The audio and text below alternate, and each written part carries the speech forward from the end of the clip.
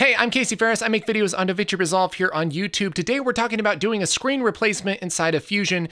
It's more than just putting a screenshot over something. There's more to it than that. Don't be like every TV show. There's more proness to be had. Let's let's do it. Let's go. All right, let's take a look at what we're going to be making today.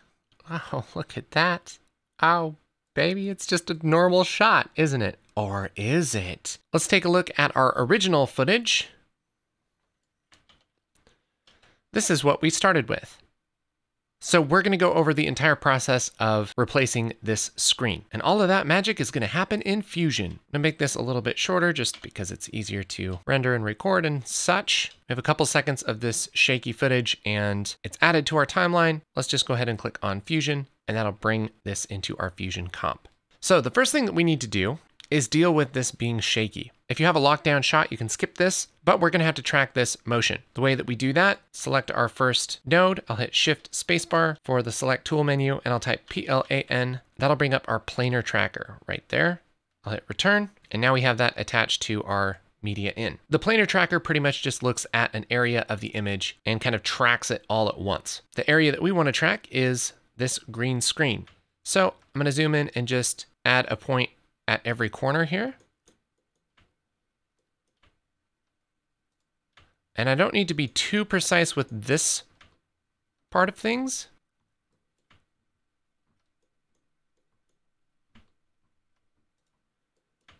I'm just basically just selecting, just roughly selecting my screen.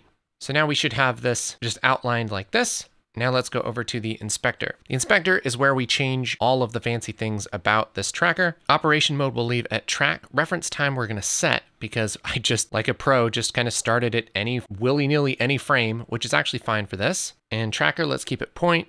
Motion type perspective, everything else is good. And whichever frame we drew this on, that's where we wanna start. And now I'll track this forward using this button right here, track to end.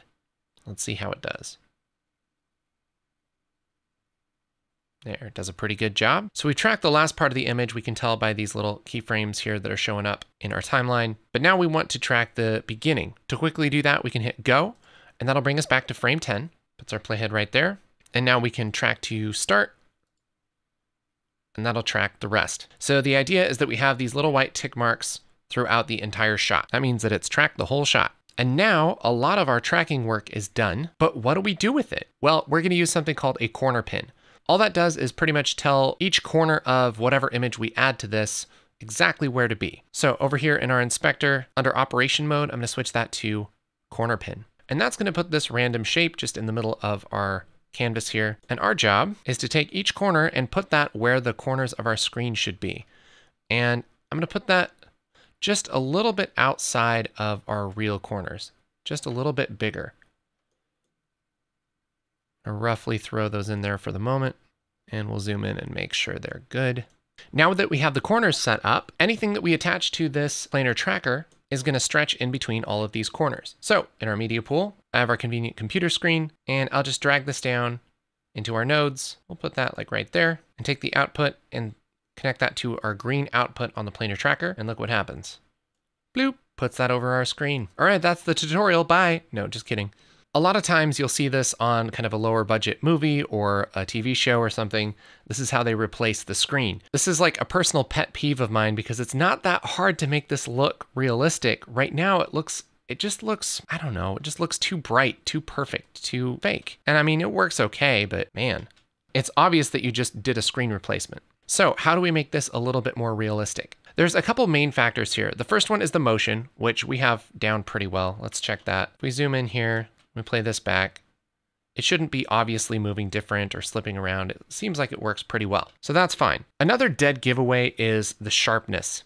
So if we were to zoom in here, we can see the edges of things aren't really that sharp, but they sure are sharp in our screen that we added. We also have this kind of sharp outline here around our screen, which isn't that realistic. You wouldn't probably see this in real life because the little edge of the screen would cover this up. Let's fix both of those things. The first thing is we need to make this screen as blurry as the edge of this screen because they're the same distance from the camera. The way to do that is just add a blur node. Take this blur node and add it after our media 2. And by default, it's probably going to work okay. It's about a one pixel blur, which if your camera's in focus, that's probably about right. You could maybe boost it up just a touch more, 1.5. And now this should look pretty close to the softness of the screen versus the softness of the edges here on our fake screen. So here's before and here's after. It's a really subtle blur, but it makes a big difference. And this is already looking a little bit more believable. The other thing I wanna do is crop out these little sharp edges here, which we can do with a crop node. So let's select Media 2. I'll hit Shift Spacebar and type C-R-O-P and enter, and that'll bring up crop. I'm gonna select crop and hit 2 on the keyboard. That's just going to bring this up right here. And really what we wanna do is just cut off the edge pixels. I happen to know this screen is 1920 by 1080. So if we crop this to 1920 by 1080, we'll basically have nothing happening here. But if we check keep centered and then bring this size down to 1918, that's two pixels smaller, and then the Y size to 1078, two pixels smaller, then we kind of get rid of that edge. Check this side too, looks good. So now we've kind of just cropped that little sharp edge off. And if we go back to our media out, things should still look good. And now we don't have that sharp edge there. Looking nice.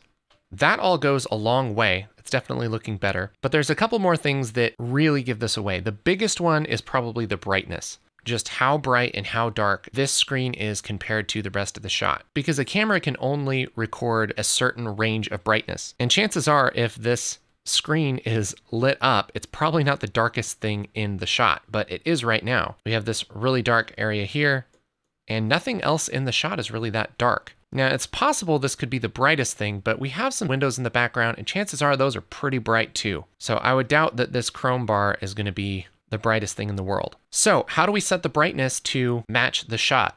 This is actually really easy in Fusion. I'm going to show you a little trick. Let's grab the media in 2, and before we do anything, I'm going to drag a color corrector node here in between media in 2 and crop. And this is just gonna let us adjust the colors for the screen. One thing I'll do over here in the inspector is on this third tab, click pre-divide post multiply. It'll just limit the color correction to the screen, which we might not actually need to do in this situation, but it's good habit to get into. Let's switch back over to our first tab here and we're going to scroll down to lift, gamma, and gain, which if you're familiar with color correction, that'll ring a bell. Basically, the lift is the darkest parts of the image. So if we grab this lift and we bring it up, that pushes up the darkest parts of the image. Can double click to reset. The gain is the brightest parts of the image. Okay, those are the ones that we're gonna be really worried about right now. Basically, we just want our gain and our lift to match the darkest parts of this image. And this is actually a really nice way to do this because we can actually just sample the darkest parts of the image and just set our lift to that.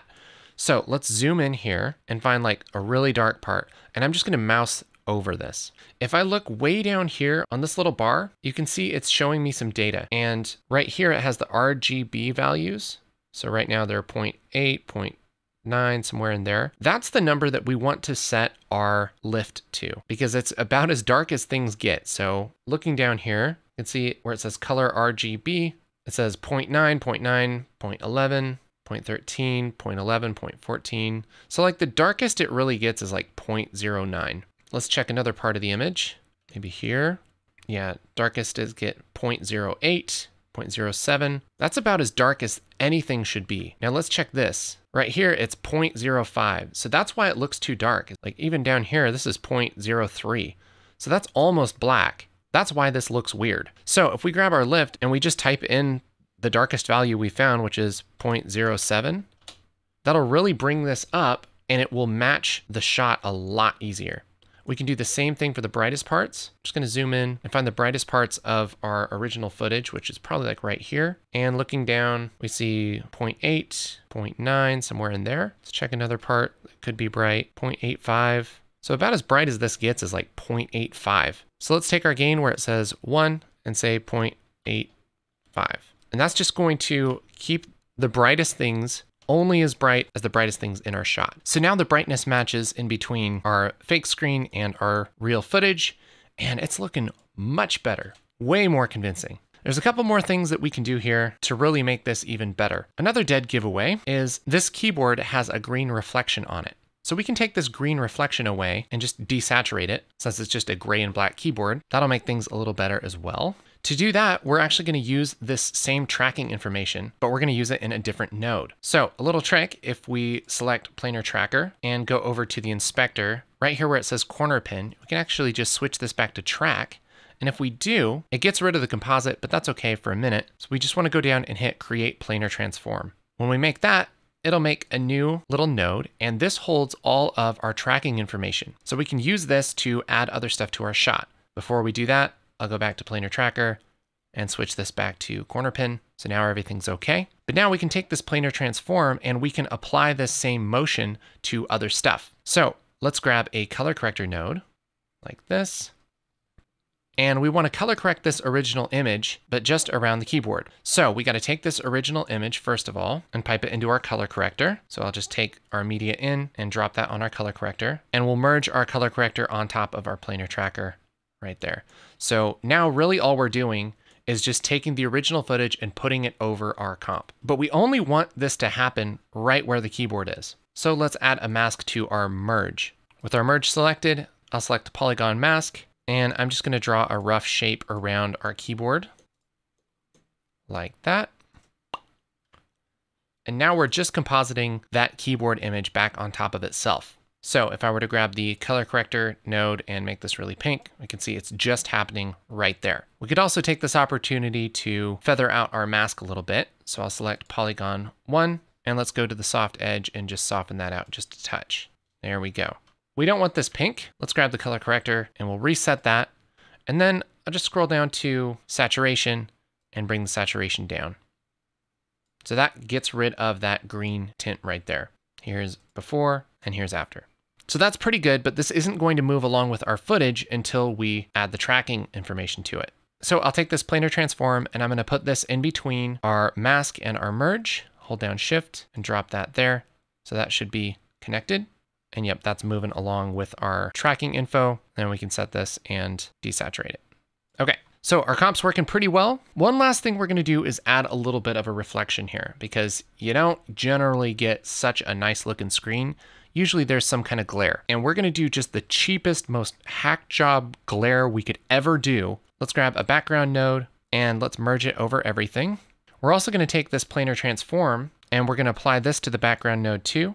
I'll hit Control C and Control V and hold down shift and put that in between our background and our merge. That's just going to move our background along with our footage, just like we did for this mask. And let's select the background. And for the color of the background, I'm just gonna pick something from kind of back here in the window, something like that. That'll make sure that it's the right brightness and color tone and everything just to match everything else. I'll hit two on the keyboard. This is what we're doing right now, but we're gonna mask this. I'll make sure my media out is selected in our second viewer by hitting two on the keyboard. Then let's select our background and I'll add a polygon mask. And now we can just draw a really soft shape, something like this. I'm just gonna kind of draw this kind of shape and then soften it a lot and make it a little bit smaller and soften it a little more.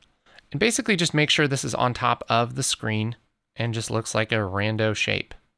Yeah, something like that. And this should move along with our track, and it does. And this is obviously way too crazy. So let's select our merge where this is being composited, and we'll grab blend, which is like the opacity of the merge, blend it all the way down, and then we'll boost it up just so you start to see it.